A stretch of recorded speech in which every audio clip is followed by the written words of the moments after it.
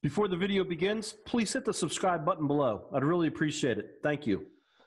Welcome, fellow business brokers. Thanks for joining us again today. Look, we get into a situation when something goes bad with a buyer and a seller in a deal, sometimes it turns into a lawsuit. And as business brokers, we can get swept up into that situation. So today, we are going to talk about ways to stay out of those legal lawsuits and how to protect ourselves. And we got two great attorneys with us today.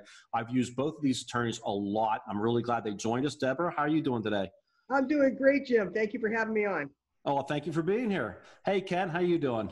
I'm also doing great and appreciate you having me on today as well. Great. Hey, guys, both of you guys, uh, seriously, I work with both of you guys all the time. You guys are fantastic attorneys. I have a lot of respect for you. Also, got Michael Johnson with us from AOR Insurance, and he's actually my insurance provider. He gives us EO insurance, liability insurance, and I don't know the name of it, but like extra auto insurance, which we'll be talking about later. How you doing today, Michael? Doing awesome. Thanks for having me. Look forward to the discussion. Excellent, excellent. Deborah, let's just jump right into this. Uh, so, what are the things that you see happen from business brokers that kind of make your stomach turn and you, you think, okay, this could cause a, a, a legal problem for that business broker? What do you see? The worst thing I see, Jim, is when people try to practice law. I don't know if Ken agrees with me, but sometimes when I see some of the addendums that come out and I see some of the things that they write, I get very concerned because they really are practicing law. The reason why they have the pre-printed contracts really is so that they don't have to get into trouble. And that's where people get into trouble because they don't understand some of the nuances, some of the things you're supposed to say. They get involved with that, and that becomes a, a real big issue for both the agent and their broker. Great. So uh, and, you think the the addendums you see that a lot of, huh? Yeah, that's a that's an issue over here. People talking, you know, that that should not be writing emails that that they write. They have to keep really good control control of the emails and they have to make sure they keep copies and hard copies of everything. Some of the things that come across in an email are going to be problematic because I've seen people actually put forth that they're doing the own financial due diligence for the buyer, which is mm. kind of the mm. craziest thing you can see because when the agent gets involved, the broker gets involved doing financial due diligence for him, no CPAs there, no other party is there, becomes very problematic for them down the line. Um, and also, if you're going to give an opinion, don't. Okay, stay away from that. You want to pass on information you've received from a buyer, from a seller, that's fine. You can be a conduit, but don't give your opinion because that gets you in more trouble than anything else because people rely upon that. And the first thing they think about is, well, the broker told me X. Right. Okay, so you want to just be very careful, and especially don't put those opinions in uh, in emails because people do that on a regular basis um, as well as the fact that people have conflicting agreements. I don't know if Ken's seen that. I certainly have, where marketing agreement says A, but they put little handwritten notes in, and the handwritten little notes don't really correspond to what was in the actual main agreement. There's conflicts that come back and forth, and of course, then it's an issue for the broker because what really happened over there, there was really no meeting of the minds, and they could lose their commission, which is not something anyone wants to work that difficult, you know, work that hard for, and then lose the commission. Um, and the same thing is, you know, when deals end post closing, you don't want to sit there and give information to attorneys who are fishing to see who they can sue. Mm. And you don't want to also provide them with uh, with any documents, particularly private documents that you have. So the, the easiest way to sum it all up then is really be more of a conduit, but be you know something and be involved with a buyer and seller, but be more of a conduit than giving opinions and doing the work for them. So if an attorney is asking for your information post closing, you know, you should uh, either talk to your attorney or you should wait to be subpoenaed with for that information. Is that correct? Exactly, exactly, okay. Jim. Because um, you know, Ken's going to not agree with me 100% potentially, but attorneys are not necessarily your friend. you guys agree with that. I, I, think it's important. Transactional. I agree. I agree with that. Okay, transactional attorneys are your friend. Okay, yeah. litigation attorneys are not necessarily your friend. Okay, um, you know, if they're representing the buyer and the seller, but transactional attorneys, yes, we're looking out to see what we can do to help everybody as well. Because we don't want anyone to have any problems. Um, so I mentioned marketing agreements, NDAs are a problem too. You want to make sure you have a proper NDA because if you don't have that, that's going to leave you in a potential lawsuit as well because you just gave information out without protecting anyone. What do you mean a proper NDA? What do you mean? Just that you're using the it's filled out properly and right. signed and properly the proper parties. I mean, you can't just go give confidential information to everybody out there. And I've seen people do it. they'll put someone on there and all of a sudden 10 other people identify themselves. Oh, I'm a relation, I'm a friend, I'm the ex-wife, whatever it is. All of a sudden everybody's got everything. And all Well, that. that gets me concerned too. Is like somebody calls up a brokerage house and they say, "I'm interested in such and such business you have for sale," and they say, "Okay, what's your name? Uh, John Smith. What's your address?" Boom, and you send them the NDA, and then they sign it and they send it back. How do you know that's John Smith? They could not be get- telling you the truth. Like you need to, you need to do that. their that driver's license, you get all the information from them. And what I've seen too, and its carelessness, people don't have the right company down. Okay, and people don't know what the company owns. We'll, we'll Mm. wind up with assets and it winds up being a major headache because, you know, another company owned those assets. This company is owns the lease. So I've got, and I have another two companies owning another another company. It's a distributor. So if you don't know what you're doing 100% when you take the listing and you don't have all the proper parties in there, it becomes an issue. It becomes an issue too. I'm sure Ken sees a lot too because you have to do a non-compete. Well, who is going to be on the on the competitive end in the sense of is it going to be a spouse? Is it going to be a child? You know, who's running that other company that we don't know about at the time we take the listing? Wow. Deborah, you gave us like a ton of information very, very quickly. I really appreciate that. I'm sure you even have more, and we're going to come back to you. But let's, let's switch over to Ken real quick. Are, are there things that Deborah has not said yet that you see are the biggest issues with business brokers when it comes to legal issues in a, in a transaction?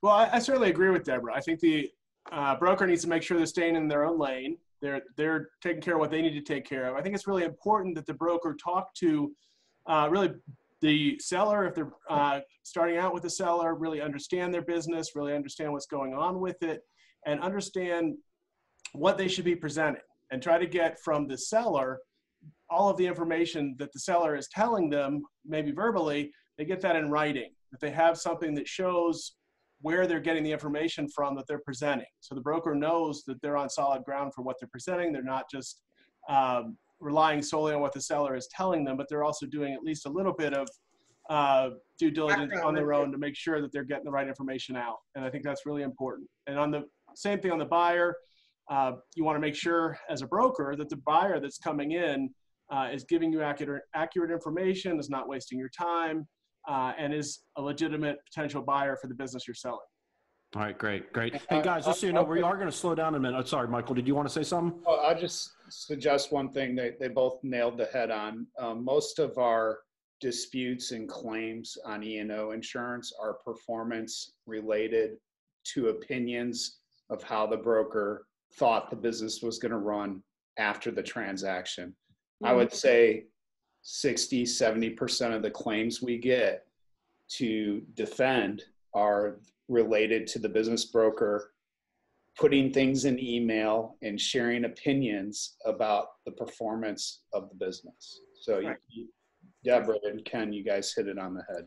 Holy cow, 60 to 70% of the cases that you see are, are business brokers giving opinions that they shouldn't be giving. You know, I think it all comes down to business brokers got it. And I, I- I can't believe people don't know this, but, and I shouldn't say it that way. That's, that's horrible. But, you know, as business brokers, we are not attorneys. We can't give legal advice. We're not, we're not accountants or CPAs. We can't give financial advice.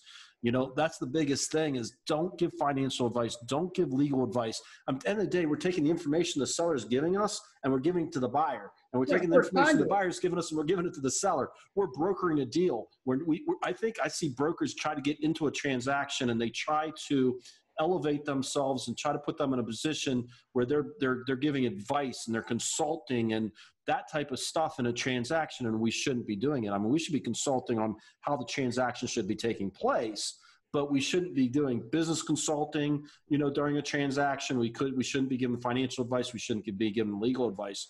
And I want to touch on real quick. You were talking about these addendums. I want to back up real quick, Deborah. You were talking about these addendums that, that business brokers write up these addendums. The business brokers of Florida right now is um, thinking about having an attorney write up a set of addendums because we use the same things over and over again once a deal goes under contract the business needs you know the, the closing needs to be extended a great idea. Um, you know that type of stuff and instead of us doing it having an attorney doing it and then we can just plop it in is that does that sound So, reasonable Jim, I've been, uh, I do real estate as well, and I've been doing that for the same 38 years, and all the forms are there. All the forms are there for, uh, for all the agents that come on board. They just have to fill out a form, pull it out, and be done. And that is the easiest way, and I see that for the business brokers. And I know the frustration that business brokers feel because they're entrepreneurs themselves. They've had their own businesses. They know what they want to write. They know what they want to say. But you know, step away from that and just say, listen, it's black and white. I'm just going to do something really over here that I need to do, protect myself, protect right. my clients, and we're done. Um, as opposed to being super creative. You want to be super creative, get Ken involved, get me involved, then we're creative, okay? Because that's what we do for a living. It's not just, I haven't seen a real vanilla deal yet. Have you, Ken? No, not too many of them. I also would suggest that, you know, if the broker gets into a situation where they need to have an addendum with any kind of uh, complexity to it or creativity. Yeah. yeah. And they don't want to go to an attorney for some reason, which Deborah and I would say is wrong, but whatever it is, they should go to the parties. If the buyer and the seller are telling you a certain thing that they want in an addendum, let them write it. Let them email the language to the broker. The broker drops it into the addendum and sends it back to them to sign. So that's a way to protect yourself. I agree with what Ken says, but I go one further. I go one step further. Um, I know we have waivers for attorneys. I know we have waivers for accountants. And, and I'm going to ask you, Michael, what you see over here for the E&O problems. When you don't have an accountant involved and you don't have an attorney involved for the parties, okay, that leads to more problems, I believe, for a broker than anything else because you need a team of people that complement you. You don't want to be there alone. Absolutely. You need good exactly. you need good attorneys though. You need attorneys that and CPAs that know what they're doing in a, right. in a in a transaction, not your typical general business attorney or general attorney. You need attorneys that specialize in what you guys specialize in because if not, it's just making our job more difficult. So no, no, no. I agree yeah. with you, but I've seen people try to discourage, and I've seen some of the brokers discourage having an attorney, discourage having an accountant and that to me leads to, to the problems because you want you want someone there to complement you and be part of the team. You don't want to have to like i said go it alone and then wind up having problems later. And, and i always say too that when you're finished with due diligence get them to sign off on it I think that is so uneth. I think it's unethical, and I think that I, am not an attorney. Maybe you guys can tell me. I think that you could be in legal problems as a business broker by telling telling a seller or a buyer that they, if oh, they definitely. say, "Oh, maybe should I take my attorney?" You say, "No, you don't need to go to your attorney." You can get in trouble for that, right? Definitely, I mean, definitely, definitely, you can get in trouble for that. But I mean, even the ones that don't know, the worst people, and I, I'm going to ask Michael again. The worst people are the ones that don't know what they're doing. They're mm-hmm. just dangerous enough client-wise that don't know what they're doing and that they're not guided, okay, that becomes an issue later on down the road. Yeah. but that's, I think I want to get this point across on this though. I, I, I when somebody says you got to talk, should I take this to an attorney or should I have my attorney? Absolutely, should I should have an attorney review it. Do you have an attorney? And they say yes. Well, do they make sure they specialize in this? And if they don't, right. I can send you names of two or three attorneys to talk to because, and then I go on and explain why it's so important they talk to an attorney that really knows what they're doing because getting the wrong attorney involved, I want the attorney to protect my buyer or seller but I don't want to get an attorney involved that has no idea what they're doing. Deborah, we had this situation last year. We don't want to yeah. mention the transaction, but we had an attorney involved in a situation that they had no idea what they were doing, and it almost killed the deal. And, no, so and, the wrong attorney is going to kill the deal. Um, just for example, yesterday I wrote up a fairly simple contract for a fairly simple business, and I got I got a 97 page addendum. Mm. That wasn't so, from me, just FYI. so Ken, Deborah, you guys think that's that's a good situation though? Because I like I look at it as far as the addendums, us business brokers, we use the same addendums over and over again. There's probably a half a dozen I think it's use. a great idea, Jim. I think it's and, perfect because it should be and again, it goes back to practicing law, which should make every broker, you know, scratch their head. And, and, actually, you know, I know it makes all the brokers very nervous when their agents do that because you don't want anybody practicing law. Number one, it's a felony, and number two, that's what causes the problems to either die or causes the problems at the end where you're sued because nobody got involved with an attorney uh, that knew what they were doing or an attorney period, and the deals then became problematic.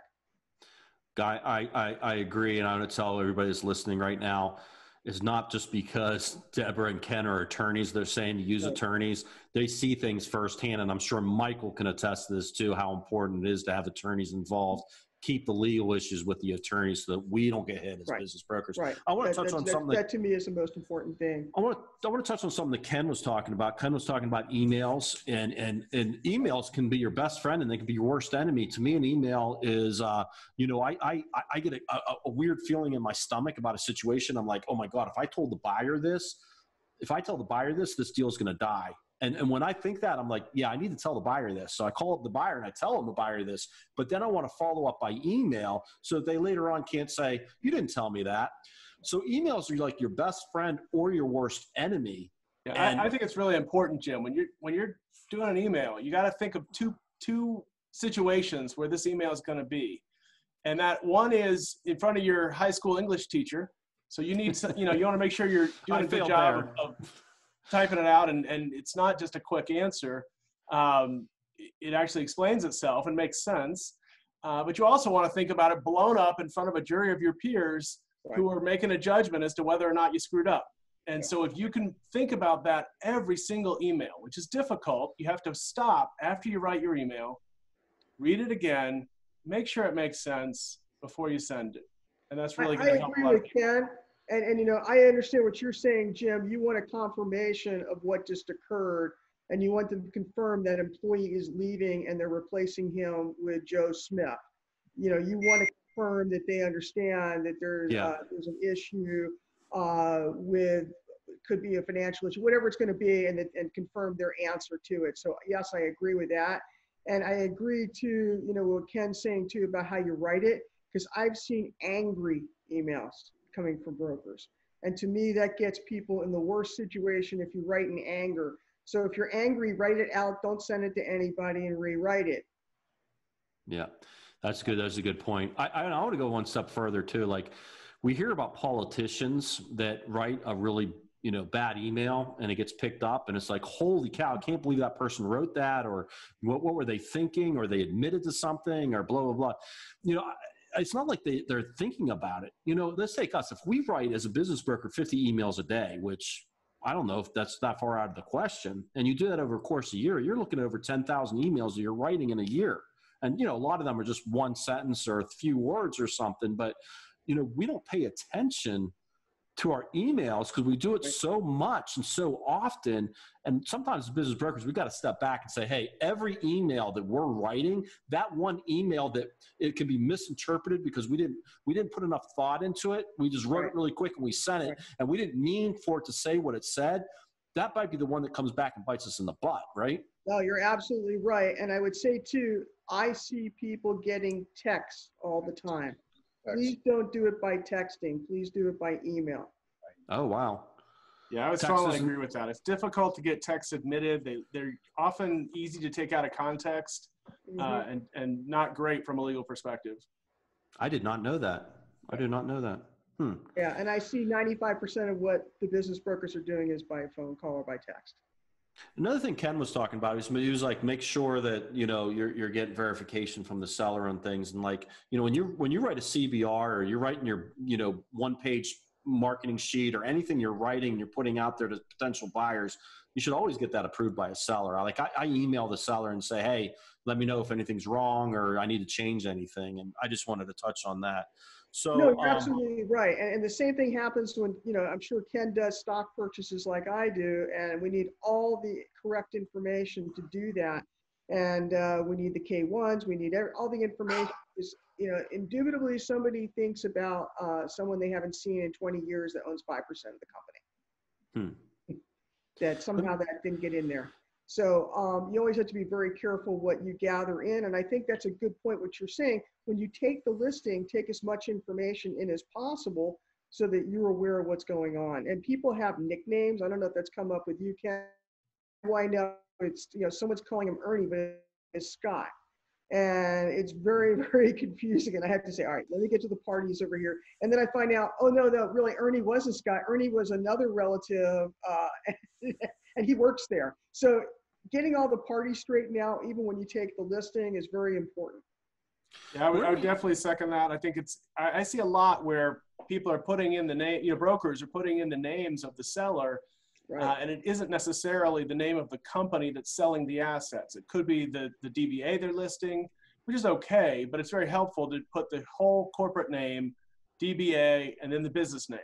and the And that correct way, you know, when we're doing the documents, we're reviewing it, it helps a lot to really understand who is selling what.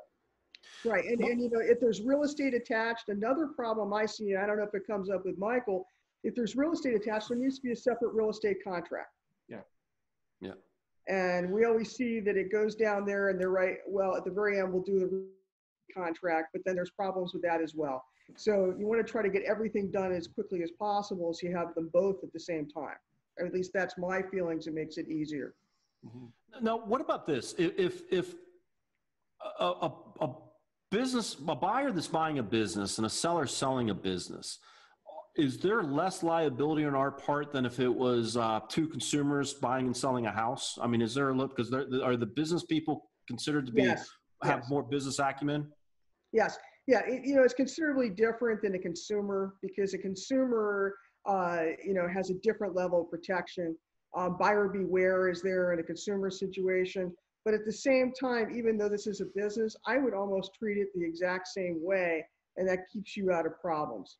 Because if there's something that everyone is hiding, it will come out at some point in time, and that's what bites you. Okay. What I hear all the time when I'm talking to brokers too is they refer to their buyer or seller as their client. Uh, Right, well, what's, right. They're can you guys customer. talk about that? Yeah, I think that's that's very very important that brokers understand the distinction. If you're a transactional agent, they are not your client.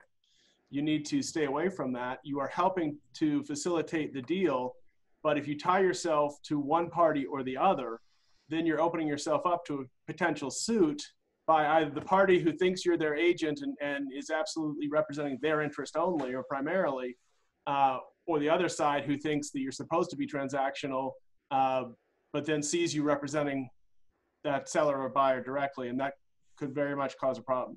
No, exactly correct. And, and for the connotation, they are customers, they're not clients. Yeah. So I, I agree, and I understand that that customer versus client situation, but um, I hate I don't want to call somebody a customer because that I think diminishes what we do. So I just call my buyer my seller. Is that Right, okay? exactly, exactly. Okay. And that's, that's a good point, that's fine. Um, but, but people are really funny about that because they don't realize that under Florida, all the business brokers are still underneath, uh, the real estate license. Yeah. which So is those are- everything else, it's a big Which difference. is a huge issue on the insurance policies too, because most business brokers will buy their E and O policy, but they have not, um, they have not communicated the real estate side of their business. So the key to E and O insurance is the definition of the professional services. So if you get into a bunch of different professional services beyond just business brokering and you're involved in real estate, has to be specifically defined in the policy. Your Yeah, That's very important, yeah. very important. You know, we're salespeople. I mean, like, I mean, we're not, we are, and we're not. I mean, we could have that debate, but, you know, we are selling businesses. Um, you know, if, if we're puffing up something or we're doing a little bit of exaggeration, I'm sure that could be an issue too, right? Uh, yes, they always say, what, there's two stories? but if but if you're just saying like I'm, I'm talking to a buyer, I'm writing a buyer an email, and and the buyer says, "Hey, I'm interested in such and such business," and I email back and I say, "Hey, this is a great business. It's got fantastic financials." I mean, what what is is that bad, or is can that get me in trouble, or I, I certainly wouldn't want to see that written that way. It's got fantastic financials. You might see they have books and records, which, you know, it's not in a shoebox, but, Yeah. you know, it, you know, it's got tax returns, but certainly to come back and then make any kind of comments that are uh, in that tone, I think is going to come back potentially and haunt you because you don't want to be ever accused of making a recommendation or making anything in that direction. Go ahead, Mike. I'm sorry. Yeah, the Jim, the lawsuits we see on that is the failure of the business. So you you you talked about all this fantastic stuff that you sold me, as you're you were emotional about it and passionate, and I bought the business and then it failed.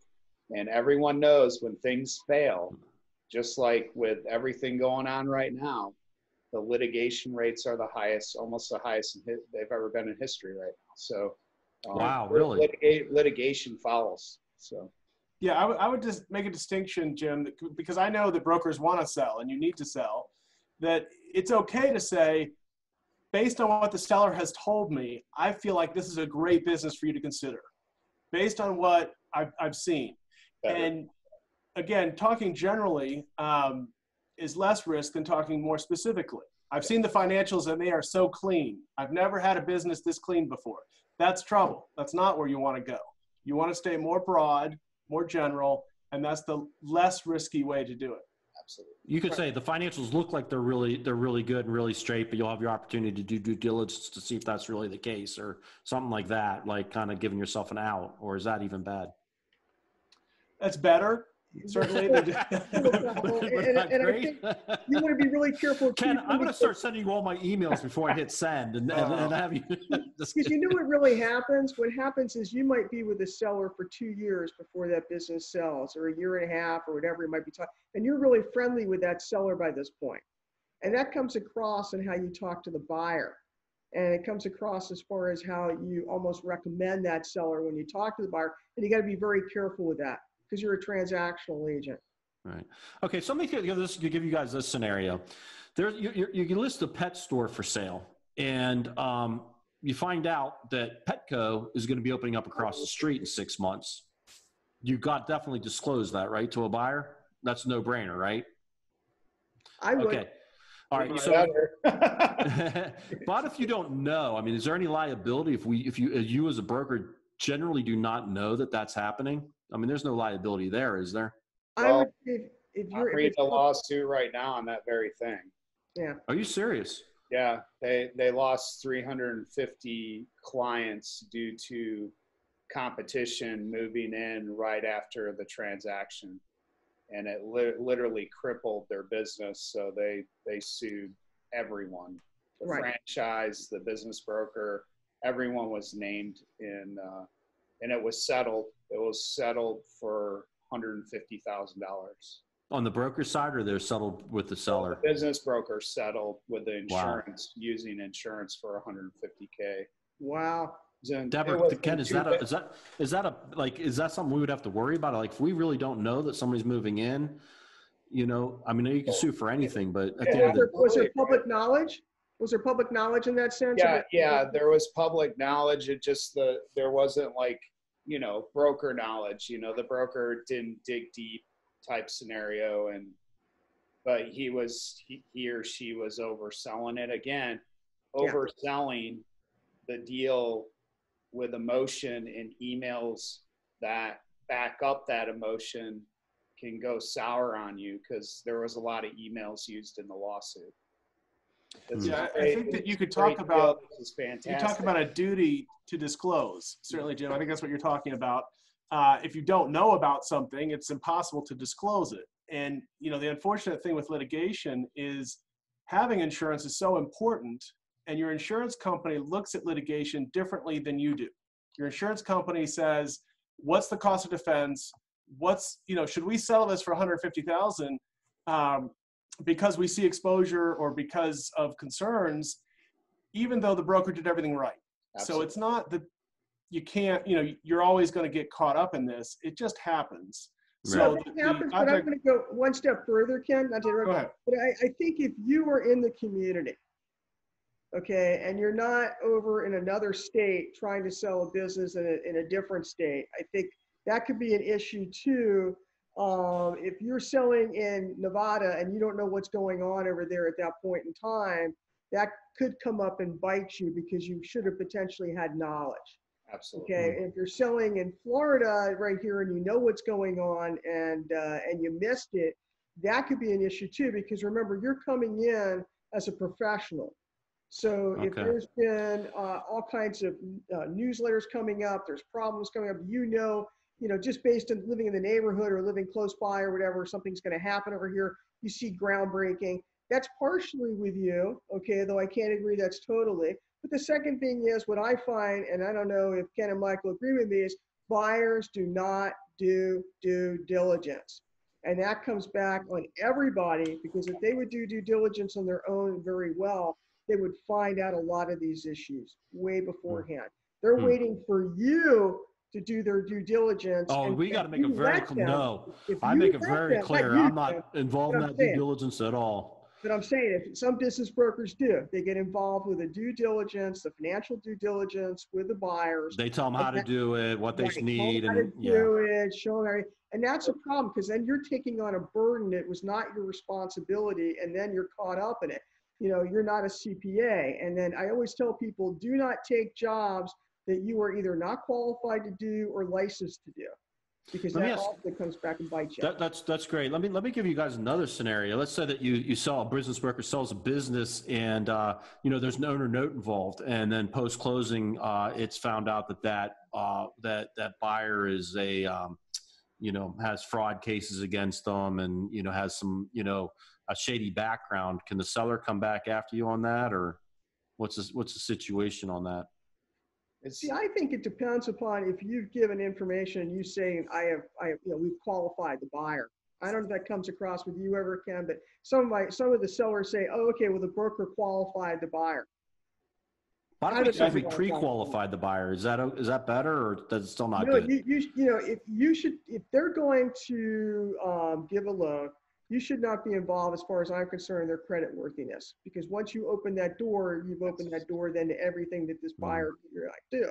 So if you let them do their own diligence on the seller, the seller, I mean, excuse me, on the buyer, the buyer is going to get information about uh, IRS returns, you know, anything else, period. I think that takes a burden off of you than you giving all the information to them and saying, hey, you know, he looks pretty good to me.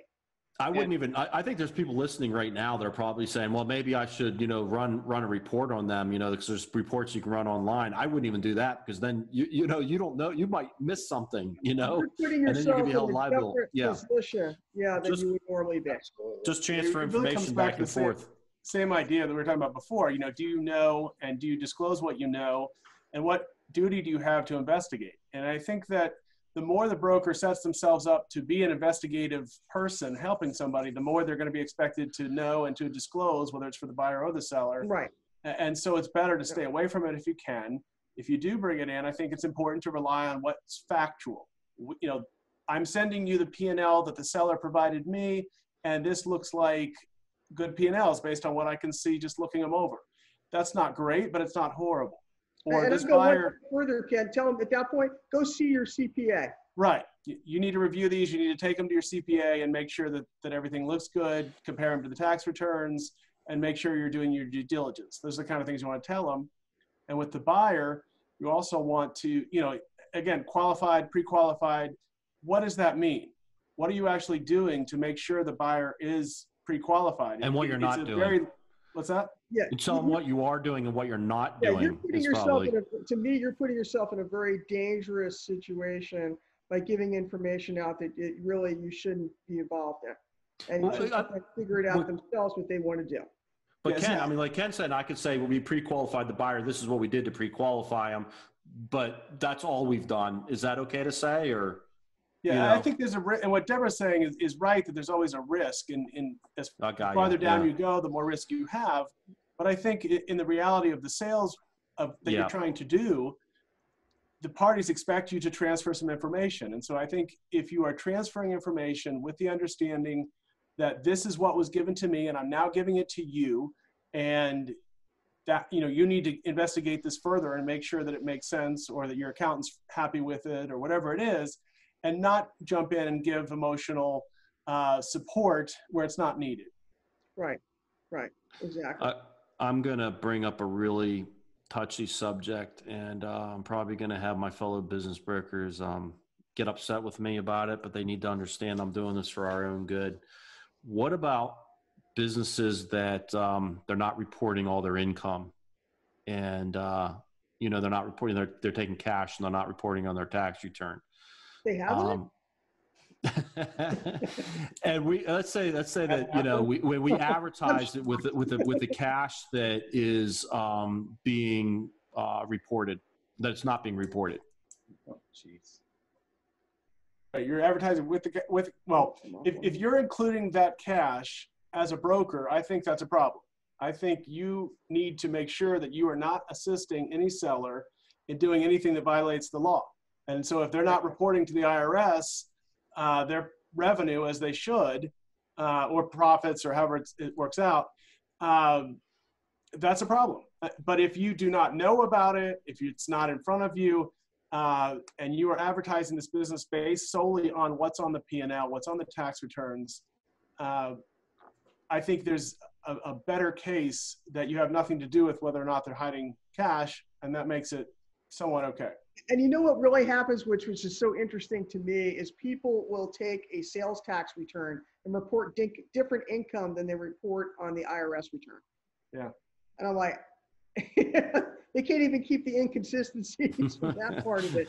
But, but that's a real what's, issue. what's your what's your outlook? What's your what's your view on that business on the business broker that takes a, a, a business on for sale that and, and is advertising the cash that's not being reported? Is Well, first of Do- do- all, I would never advertise that cash is not being reported because then the IRS has a problem with you. Okay. You know, Okay. it's not cover that. you know If this, you this acknowledge then that they're not paying their taxes. So first of all, you're never going to put that in a listing, right? You- You're Yeah, never going to put that it's, it's, un- you know, you can put unreported, you know, not even unreported, you can put miscellaneous income or something like right that. right right right. But I'm saying like gonna you're put you're, you're cash. it's right right no i'm saying i'm saying like the business is doing $450000 Right. um, on tax returns but they're really doing 550 because they're pocketing you know they're, they're not reporting 100 grand and you put it out there and you're saying the revenue on this business is 550 is there a fallback on the business broker for that I, I think what you're doing is uh, you're going to have to let your buyer decide what they want to do. And let's not be unrealistic. And Ken and I can sit there and say all day long, no, no, no, no, don't do this. But we all know what happens in the state of Florida. We all know what goes on over here. Um, and the bottom line is you can't represent to the buyer there's additional income. All you can represent to a buyer is what's transferred to you, as far as I'm concerned, what's on a return. And as far as what, what you can see in black and white. But if they want to do observational due diligence and they see that there are so many people coming into this place of business and it looks terrific and they want to sit there for five days or they want to go on, on a route with them, but whatever they want to do, that's up to a buyer. Yeah. Like if for you to point out over here, there's a cash component. You know, to me, you know, I, I know what goes on, but to me, it's it's it's a hard thing for you to have to do that, and and you know, I, I don't want to. I don't want to go on this too much because we got a lot to go over, and I want to get all the information across. But I think this is a really important situation because you know, let's face it, most small business owners, most small business owners that are dealing in cash are not reporting all the cash. I mean, that's Right. just a fact of life. I, I, I don't think that's a surprise to the IRS. I mean, that is just a fact of life. Um, you know, my, my thing is I, I do not take on owner approves anymore, but what I've always been told with the owner approved situation, and, and I've had brokers, older brokers uh, tell me this, I've done research online, which that doesn't mean crap. And I once had an IRS agent tell me that that was true, was that we can't get in trouble in the United States for knowing somebody's not reporting things on their tax return. We, if they're cr- creating tax fraud, we can't get in trouble for that. We're not required to turn them in uh, as a U, as a fellow U.S. citizen. You can get in trouble if you're a tax preparer or the one that prepared the taxes on behalf of that person. Um, but uh, you know, and we can't recommend to a buyer, well, you should do the same thing the seller's doing. You know, we can't do that. But just knowing, hey, that business is doing 550 in gross sales versus 450 you know, it, it, it, as long as the seller's telling us that, the buyer's going to do their due diligence, and the buyer and the seller are going to go behind closed doors and do it. I mean, you know, I, do, I don't personally want to do owner approved, but I just want to see what you guys think from a legal standpoint. I'll give you the easiest way to do it. Go to the Yes. CPA because they know all the back doors. Okay. The CPA knows how much water was used at the laundromat. The CPA has all of these different ways to back into the figures and let them do it and let them get, you know, uh, into that with a buyer for due diligence as opposed to you trying to point that out to them. But they all have ways to do it. You go to a hairdresser, they go through the appointment book. I mean, everybody has their ways to backtrack and define, you know, define the income and see what's there. And that's what, to me, the CPA does. So when you have a professional lined up with you, you're set. Jim, if, if you're willfully hiding income on a deal, the policy probably is not going to defend you. Right, Good. That's nice to know. And right. Okay. But if you gave them That to a means you know CPA about it. and the CPA says, hey, you know, um, I'm finding this amount over here, but I can't find this amount, and they make a report, that's has nothing to do with you. You're out. And that's why I'm saying to you, don't anything that's in your job and your purview do, anything you can give to someone else to do for liability purposes, Dead give it to them. Yep, dead on, one hundred percent. Yeah, and CPA is not going to do that. You know, they're- they're not. They're not going to. You can't talk to a CPA about that cash. But you know, this is my thing about the owner to prove is, you know, 20 years ago. Let's take a restaurant for example. 20 years ago, restaurants, you know, 80% or 50% was credit card, debit card, 50% was cash. Nowadays, you know, it's 80% debit card, credit card, 20% cash. And, and, you know, as a business broker, you just kind of ignore, I ignore the cash at this point because you're getting that 80%. And if you're selling that business and you're saying that business is doing $150,000 on tax returns and uh, versus, you know, $200,000 off tax returns, and it's the same sales price, just the fact that you're saying they got that off of tax returns versus, you know, this cash being taken, you're more likely to sell it for 100, that $150,000 bottom line.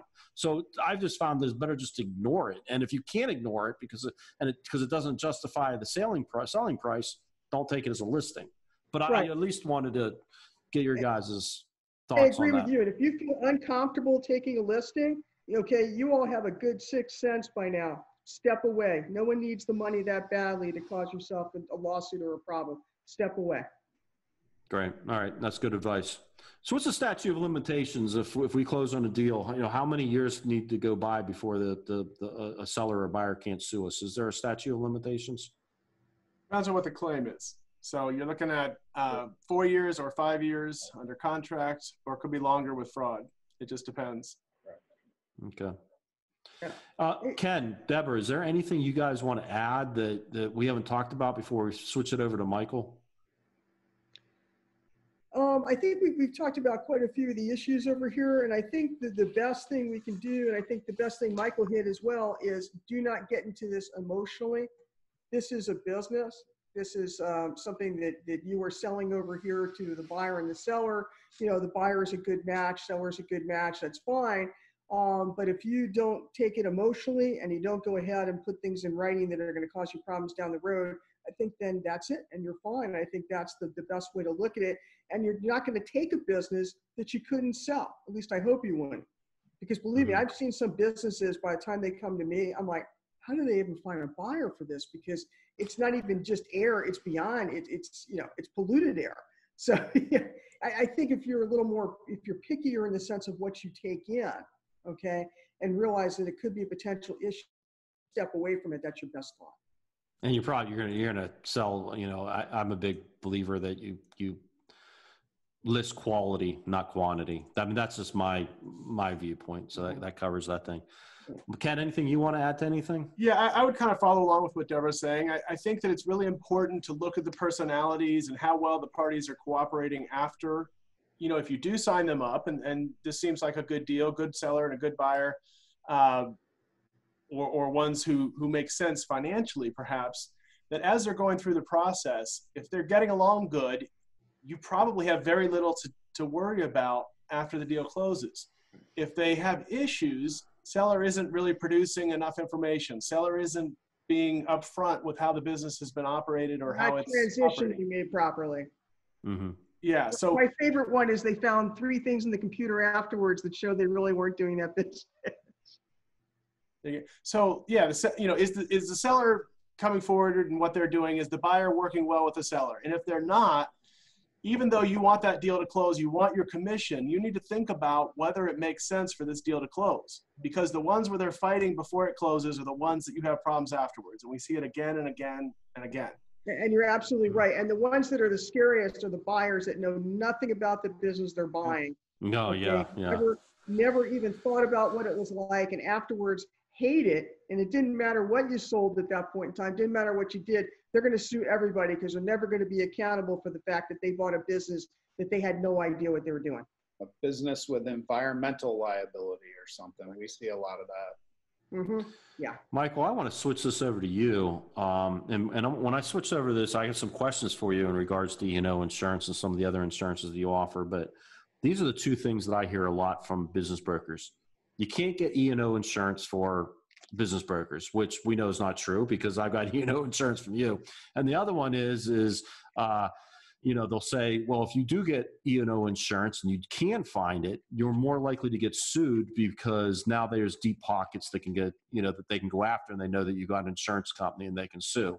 What's your response to that? Both are completely not true at all. First, you know, the lawyers that are going after you have no knowledge that you have an insurance policy in place. So the reality is, is you're either going to defend yourself and uh, reply to their uh, demands yourself, or you're going to hire an attorney. They don't know you. There's no way to look up whether a business broker has an E&O policy. First of all, second of all, E&O insurance. There's 10 to 20 different insurance carriers that write it for business brokers. So um, the problem is, is unless you're dealing with a niche person, they probably are not interested because the premium levels are so small. You know, so it's not like a big thing for them. You know, you need to deal with someone that that writes this stuff on a day-to-day basis. And Ken, Deborah, you guys got some kind of E&O insurance, right, for your own practice? Oh, sure. We have uh, malpractice insurance. Yep. Okay. So Absolutely. the attorneys have it. So I think we should too. I agree. I agree. Attorneys, And- CPA, doctors, lawyers, architects, dentists, engineers. I think that's a really bad excuse to say, well, I'm going to get sued more if I had the E&O insurance. That's you, you might as well say, well, I'm not going to carry homeowners insurance or health or um, Auto sorry, liability. auto auto liability insurance, or I'm not going to, you know, because I, I don't want to, you know, it's it's. I, I think you're just being cheap to not pay for the insurance. Nobody, no offense, Michael, but nobody wants to pay for insurance. It's not like you can look at it and go take a drive for it down the road. You know, it's something that doesn't. It's not tangible. Nobody wants to pay for it, but you need to pay for it. Yeah, you need to pay for it, but first it's your business, right? And you, you every business broker, I'm sure, takes their business very seriously, right? Just like I do, and many of them are independent contractors. So, you know, which is an issue too. If if your firm is not purchasing the E and O, how are you protected as an independent contractor, which is a whole nother issue. Yeah. I mean, I, would tell you, to be honest with you, I, I, I only started carrying E&O insurance a couple years ago because I didn't know that you could even get E&O insurance as a business broker up until a few years ago. And that's when I started getting it through you guys, Michael, and I've been very happy. And um, this isn't an ad for Michael. I don't have him on for any reason. I'm not getting any special deal or anything. It's, it's just I think every business broker out there should be carrying E&O insurance. So let's say that a business broker does get sued you know, you guys, the insurance company is going to pick up the, the cost of the legal battle. I mean, if it's a $50,000 bill for over a two year period of time, even if you didn't do anything wrong, you can still get sued. For and if it costs You can sue for $50,000 to, to Anything. defend, the insurance company's paying for that, right? That's correct. Uh, the insurance company is paying for full defense costs in the final judgment, um, minus the deductible on the on the policy, and in, in many cases in different states, punitive damages and and class action lawsuits as well. And uh, you know they they also uh, include libel and slander in a lot of these policies as well. But yeah, it's full it's really your defense cost coverage. That's what E&O is all about. It's your malpractice coverage. It's when you unintentionally screw up. Maybe you tell the buyer, "Oh, if you buy this business, sales they're going to go up 20% in this market because of XYZ, right? Because you're all emotional about the deal." And that's the type of thing that comes back and back bites you in the butt. On contractors, it's about their backlog is the backlog going to be there when you buy the electrician or the HVAC? And what happens when it goes away? What happens when the backlog, which was a bunch of BS? Uh, we see a lot of lawsuits over backlog on contractors. I, I, I, I know a broker here in Florida, very, very good broker, very well, res- much, very, very respected in Florida as a business broker, very good business broker. He got sued and it cost him a couple years of his life. And, and he spent something like $50,000 and he didn't do anything wrong. He ended up winning the case, but Fifty thousand later, he yeah, could have 50,000. spent probably fifteen hundred dollars for the policy. Right. Yeah. No, it So- makes a lot of sense to have the policy. So what's, what's, what's included and what's not included in a, in an E&O insurance policy? Well, this is this is important. Um, yeah. So what's what's included in, in a vanilla E&O policy is is malpractice coverage or an error or an omission specific to the definition of what your professional services are. If you remember in the beginning, I said, what is key to these policies? What is key is listing out if you give financial guidance on financial statements, you better let me know. If you have a real estate license, you better let me know. If you consult in other ways, you better let me know because otherwise the policy is going to go and be underwritten just based on business brokering and and and oftentimes you guys get into a lot of different arenas so that that's one key thing. That's the the the definition of of who you are and what you do is how your coverage will react. But these policies also can include a bunch of other coverages such as uh, general liability which is if you cause bodily injury or property damage to someone else employment pra- practices liability which if there's if you have employees there's wrongful termination sexual harassment or even discrimination against a customer uh, there's cyber cyber's a big issue and some of them bundle in high, what's called hired and non-owned coverage so let's say you have a bunch of independent contractors under you let's say you're abc llc and you have all these independent business brokers under you and they're out there driving their own cars on your behalf with yeah. low liability limits and they hit and kill my family. Well, guess who's getting sued in that situation? Not only are they personally, not only is their potential entity getting sued, but so is your ABC LLC, who, who they were operating on behalf of.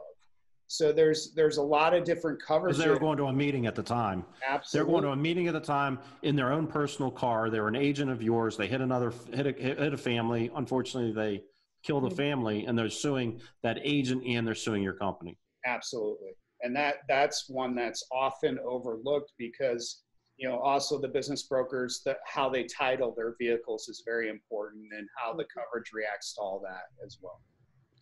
Yeah and that doesn't cost that much. I added that to my policy. What is that called? Hired and non-owned liability coverage. Okay you're gonna have to say that again. Hired and non-owned liability. Just call Michael and tell him you need the auto insurance thing along with the you know. yeah. Yeah. Okay. And get an umbrella, right, Michael? Real well, quick. you know what's interesting is if you ask most CPAs and even attorneys, um, they'll they'll say the most important insurance coverage is actually the personal umbrella to yeah. sit over all your personal mm-hmm. assets. Right. Um, yeah. Right. I was going to throw in um, just in support of, of calling Mike that I, I, think that people, you know, brokers need to realize, uh, and I see a lot of it on the Q and A that individuals can absolutely be sued, whether you have liability or not as an agent versus the broker. Um, it depends on the situation, and you want to make sure that you've got coverage. Uh, I can tell you from from the attorney standpoint, if we're going to sue somebody on a deal, we're suing everybody whose name's involved, everybody. and and we'll figure out later if there's actual liability or not, because oftentimes we just want to grab every insurance company out there and, and right. Get them involved. So Mike you're, you're mean. yes, I, I, think that's important.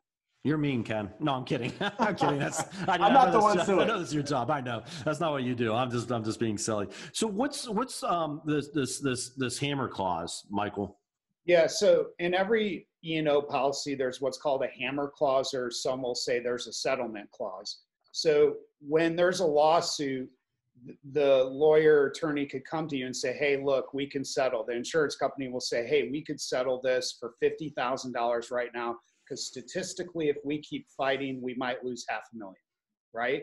Mm-hmm. So they go to you and, and you say, no, I don't want to settle. So you're delaying their settlement, right? You're not you're not going you're withholding their consent to settle. And so whenever you do that in, in all these E&O insurance policies, there's a percentage in there that if you go that route, you're going to be on the hook. So you could have a 50-50 clause where if you do not agree to their, their settlement, then you could end up paying 50% of all the costs of not only the settlement, but the defense in, in the case. That's a killer. It is. And so you've got to know what your hammer clause is, and they all have one. Okay. So you, you need to really understand what that clause is and how it works because sometimes there might be a situation where you don't want to settle and you're adamant about it. Mm-hmm. And I can understand why the the insurance company needs to have that in there, though, because you know it's all their money. If not, you know, if you're not giving consent, it's their money that's at risk they're the ones that are going to pay the $150,000 out of their pocket to settle, you know, minus your deductible. And, you know, One of the You, faults. you're not consenting and it costs them a half a million dollars, you know, you don't get burned at all. You, you know, it, you know, I can understand why they have that in there. Yeah, if they're They going got up, they got The the risk, if they evaluate the risk, they decide. Yeah. Like, Hey, Michael, could you tell us really quickly one or two real world uh, examples of claims claims um, that you've seen submitted for business brokers? Yeah, um, like I, I, I have a couple right here, but I'll just use ABC Company. Maybe Um, like 60 seconds per one or something. Okay. Uh, ABC Company were buyers. They uh, performed their due diligence for a business and everything was in order. Uh, after purchasing, um, ABC wanted the business to run on its own and uh, the business eventually failed. Uh, the, the, the folks sued the seller and named all the franchises. The case settled for $75,000. That's a real life scenario with a business broker that you would know. Now, you notice in- 75, 75 grand that, that was- was the responsibility of the business broker that you guys Correct. picked up the yeah, tag for. correct. Yeah, correct. Yeah. Yes. Okay. Now, now you notice these aren't like extremely detailed because it's hard to be somewhat detailed Yeah. because it's personal, right? But I'm Right. Real life. Here's one uh, contractor purchased a business from another construction company. Um, the one the contractor sued the other construction company claiming he overpaid for the business because it was overstated. Um, they were the business broker was named in the lawsuit, uh, and the case eventually settled for two hundred fifty thousand. Wow. Wow. And that's 250 that the broker policy. didn't have to pay. Yeah, All right. Hey, you guys, we're, we're at 330 right now. Can we, can you guys got 10 more minutes? If you don't, you can jump off. Do you guys okay with 10 more minutes? sure. Okay, let's open it up to, to, to, to, to our callers out there. If anybody has a question for, you know, Michael from AOR Insurance or Ken or Deborah, just raise your virtual hand. Um, somebody in the chat box, please tell people how to raise their virtual hand so they know how to do that because I still don't know how to do that. So I'm going to leave it out to you guys to, to mention the chat box. And when I um, pick you up in the virtual hand, keep the questions to like 20, 30 seconds. Tell me where you're from and what your name is. And I'm going, and you have to unmute yourself. I'm going to bring Scott Levine in, Levine in first. Scott, are you there? Yeah, I had to wait for the box to come up to unmute. Can you hear me? Yes, we can. Where are you calling from, Scott? Boca Raton, I'm with Amerivest Group. Excellent. Welcome to I'm- have you, Scott. Thank you very much, and I appreciate you all doing this for us. Uh, I just, I'm curious about the duty to, to disclose. I'm going to try to be very brief. Uh, I was involved in a transaction where there's a buyer, seller, they're each represented by attorneys. We had a meeting between the buyer and the seller. The potential buyer asked the seller, Are there any lawsuits against you? And the seller said, No. That night, I get a call from the seller Scott, there is a lawsuit against us. Well, then why'd you tell them there wasn't? Because the attorney who's handling the lawsuit said that we're in negotiations and I am not to disclose this to anyone. So there I am stuck in the middle, knowing that material things should be disclosed. So I called the seller's other attorney who was actually handling the negotiation of the sale, and I said, What do we do here? Don't we have to disclose? So that attorney said, Yeah, it should be disclosed, but let me talk to the other attorney first. Bottom line, there wasn't a meeting of the minds between the buyer and the seller. It was all it was a negotiation going on. No monies had been transferred, and we ended up dragging our feet, and it was settled prior to us getting to any type of an asset purchase agreement or a deposit. What's your opinion on all that? This duty to dis- disclose where the broker is kind of stuck in the middle. You, you said both buyer and seller had counsel? Yes. Okay, it's buyer's duty, it's buyer's counsel's duty to do a search. Okay. But I, I'm, I'm talking about the liability of the agent or the broker because what, you know, you, you know, way back when, when I took my real estate license, you know, they emphasized that in a real estate transaction, certainly material facts needed to be disclosed. This is a commercial transaction. It's a sale of a business. Uh, so, you know, I, I basically left it up to the attorneys to figure it all out. Yes, And I made Scott, sure I I- I documented that- that. yeah, But I- I- what was my duty in all this? I think you're in the best situation when you've got attorneys on both sides and you did, did the right thing. The real problem comes when you don't have attorneys on one or the other or both sides. And I think uh, your idea of going back to the seller and the seller's litigation counsel is the best way to go about it. Try to get more information. Try to understand is it a lawsuit that has actually been filed or one that's been threatened? Because if it's filed, then it's public knowledge, it's public uh, information that it's out there and the seller's attorney shouldn't be telling, you know, can't tell you not to disclose it. Um, you may want to delay shortly if they're in the middle of a very brief type of settlement effort, uh, and they tell you that. But generally speaking, I think you do have a duty to disclose that if you know about it, and I think you're covered if it's a filed lawsuit. If it is a threatened lawsuit, then I think your potential liability is lessened because it isn't an actual lawsuit; it's a potential. Uh, but I still think you need to investigate it and find out the detail. And it may come to a situation where you really do need to let buyer know because you don't want them to get blindsided by it. And I think actually too, if you have the seller investigate it, that's not a bad thing either. What I, yeah, I see what you're saying, Kenn, but what I do is I tell the seller to go back then and have that litigation attorney provide more information. Right. And that, and that's a, a big difference. So you don't, as a broker, don't necessarily have to get involved in that aspect of it. And I agree, unless it's a settlement and the terms of the settlement are which are confidential, the settlement itself may not be confidential at all because it is a filed lawsuit. It did come to conclusion. And I Thank- agree, we could do an affidavit to protect the buyer from coming on over there. Plus, I've done even with the SBA deals and we find out that there's a lawsuit and we can do something either holding escrow or we can get uh, the opinion if everyone feels comfortable and that's it, it's done. And there's an affidavit and you're done. But, uh, but I agree for, for a broker, it's a really, it's a hard, it's a hard thing to think about. What do I disclose and what do I don't disclose? Because you are a transactional agent for the most part. Thank you, Scott, so much for that, that, that question. We got, uh, we got seven more minutes. Barbara, can you unmute yourself? Can you hear us? I can hear you. Can you hear me? I sure can. Thank you for joining us. That doesn't sound call- like a yes. Can you hear me? We can hear, yeah, we, yeah, we Oh, can yeah, hear you. okay, Yeah, where are you calling yeah. from, Barbara?